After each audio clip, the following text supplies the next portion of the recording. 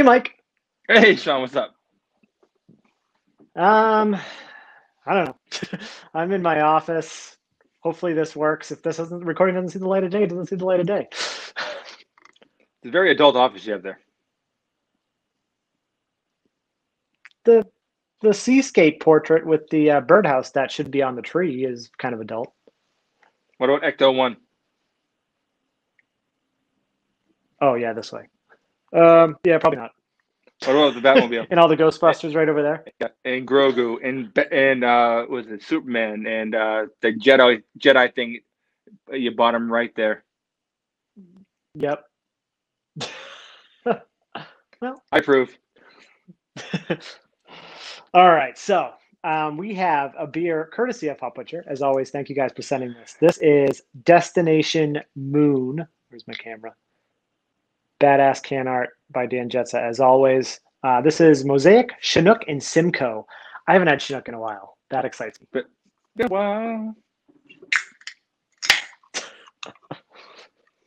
Let's God damn it. dive in. I always have to use some fucking janky ass shit to open up my cans. Oh shit! Well, that looks nice. Where's the haze? I'm kidding. Where's the cat? There you are, bitch. Gotcha. Dump the water on the cat. Nice. Because cats love water. Where's the beef? I mean, the haze. I mean, it's really nice though. It's a nice This is orange. chill haze, but it looks gorgeous. It's almost like Crayola orange. Seven and a half percent. Dude, look how pretty this looks on my screen. Yeah. It's ridiculous. If I hold it up to the light, it's a little bit more yellow, but yeah, I mean, That's this looks like gorgeous. It looks kind of like like a burnt orange. Yeah, it, it like the light is like hitting it perfectly too. It's awesome. My head went away relatively quickly, but mine did not. But you know, I have a clean glass, so you know. yeah, that, that such is life. It's got a nose. Let's do it. I mean, holy shit, dude. That smells yummy. Dude, this smells ridiculous. It's like I rose know- berries, strawberries. Honestly, you know what this reminds me of a little bit? A little. I know it's not hazy. This does sort of that treehousey thing to me a little bit. You know, it reminds me a so? little bit. Yeah, it does. It, it, in in the way of almost Of like um, like bright, or uh, even sometimes you get.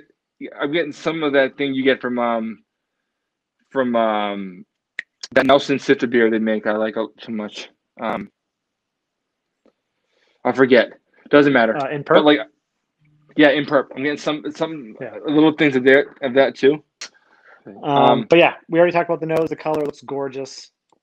Spilled it. I, I I love like how like fresh and like, it smells like fresh fruit in a big way. It smells like berries. It smells like grapes. It smells just like a little bit dank. It has. I mean, this has an awesome nose, Sean. I'm blown away by the nose. It it does.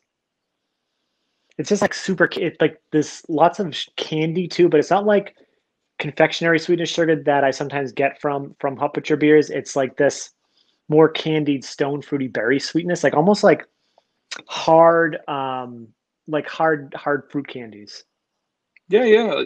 And honestly, it has the color of, of like of like a Yeah, like an orange tootsie roll, uh, tootsie roll uh, pop. yeah, has that color, you know, it's like off orange it almost. Um, we got a taste. Let's do it. Cheers, my friend. Cheers, girl.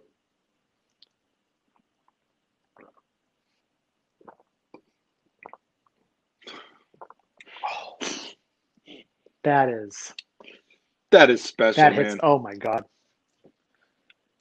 And after the day I've had, I needed this. I oh. did. Yeah, dude, this is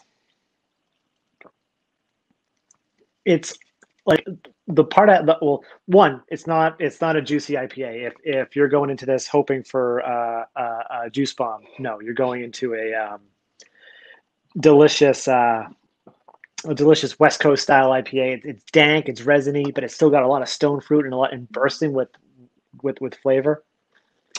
I you know actually I do think actually this is I think it's, it's actually fruity and juicy. Um, but what it isn't, it isn't that it doesn't have that very soft yeasty kind of like that like that Julius style soft. It doesn't have that. But I do think it does have a lot of fruit on there, even on the palate. I think that it it is a little bit dank. Um, but man, I think the berries are coming right through. It is very, very like um, berry forward. It's you know um, just bursting with fruit flavor. I think. Um, I think you know it, it's um, not that clear, but you know it does have some aspects of sort of a West Coast thing, but I wouldn't call this West Coasty to, to me anyway.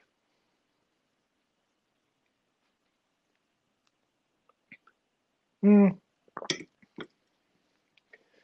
I don't know. I think it, well, it has more characteristics for me for what because when I'm thinking like the the more like bitterness, resiny.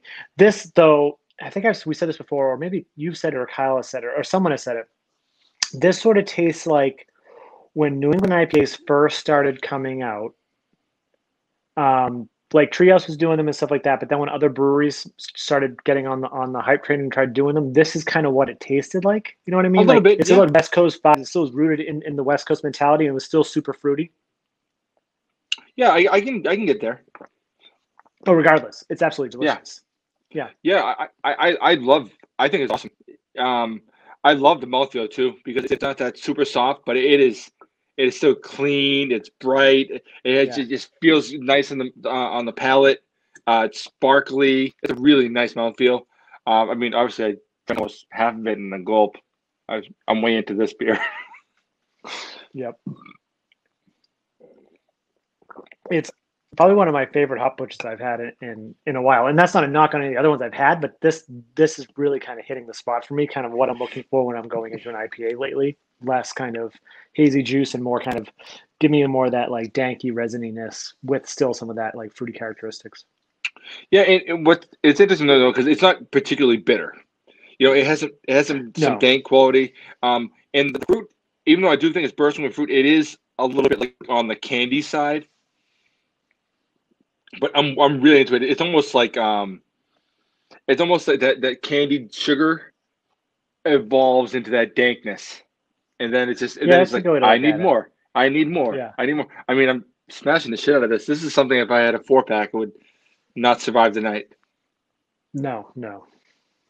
And I, on the back, I'd say we nail uh, dank cherry, uh, not dank cherry, dank berry. Yep, white pine. Yep, and tangy grapefruit. Um, I can see it. I didn't, I didn't, I didn't catch that though. But yeah, I could definitely Actually, see I, it. I almost said it a few minutes ago. Actually,